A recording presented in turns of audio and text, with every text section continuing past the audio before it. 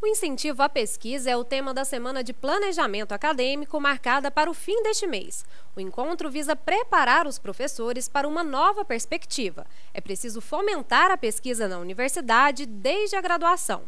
Outra preocupação é aumentar a publicação científica, uma responsabilidade da editora da PUC. Ela tem uma publicação permanente.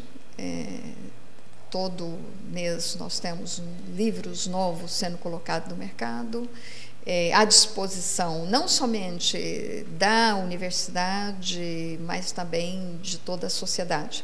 Ah, os livros da nossa editora, eles focam diferentes áreas do conhecimento e a cada dia uma novidade. Eu convido, inclusive, que todos possam conhecer a nossa editora, a editora da PUC, e as suas publicações, que sempre sai um catálogo, está disponibilizado no nosso site, para que as pessoas possam ter é, informações é, mais apropriadas. Agora, um detalhe: é, o custo é bem mais acessível. Né? E os livros, é, é muito importante isso. E a qualidade.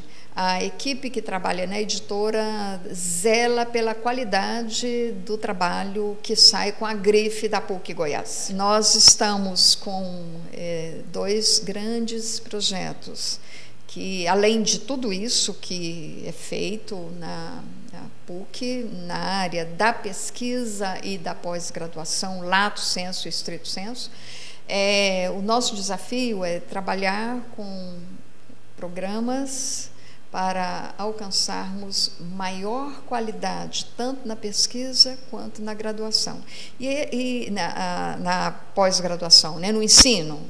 E nessa é, vertente de qualificar mais, cada vez mais, os nossos cursos de pós-graduação e também as nossas pesquisas, um desafio significativo e tá, está no projeto de gestão do, do reitorado é fazer uma maior interconexão com a graduação. De modo que tudo aquilo que temos de importante e de qualidade na pesquisa que isso tenha impacto no ensino de graduação nos diferentes cursos que a PUC oferece. Então, essa, esse é um trabalho que julgo extremamente relevante, além de continuar publicando mais livros, eh, nossas revistas, que também são importantes, eh, aumentar a oferta de, de cursos na pós-graduação em estrito senso. Estamos trabalhando nesse sentido, em breve teremos novidades.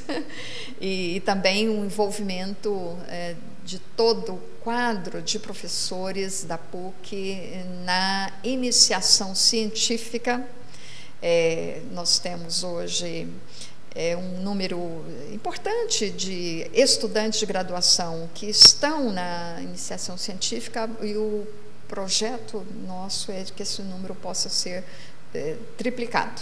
É, mais alunos das diferentes graduações que a PUC oferece possam ter um orientador, doutor ou mestre, numa pesquisa para já, como é uma orientação do próprio CNPq, que é um órgão federal que é, financia e normatiza a pesquisa no Brasil, possa, esse número maior, cada vez maior, possa contribuir para a formação dos nossos estudantes.